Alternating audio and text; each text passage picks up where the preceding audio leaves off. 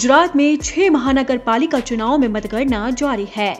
BJP दो सौ अड़सठ और कांग्रेस उनचास सीटों पर बढ़त बनाए हुए है। आंकड़ों के लिहाज से गुजरात नगर निगम चुनाव में बीजेपी की बढ़त बरकरार है। सभी छह नगर निगम अहमदाबाद, सूरत, वडोदरा, राजकोट, भावनगर और जामनगर में बीजेपी आगे चल रही है।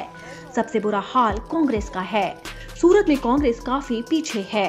वहीं गुजरात में आम आदमी पार्टी का खाता खुल गया है। सूरत नगर निगम के वार्ड नंबर 16 की चारों सीट और वार्ड नंबर 4 की चार सीट पर आम आदमी पार्टी ने जीत दर्ज की है।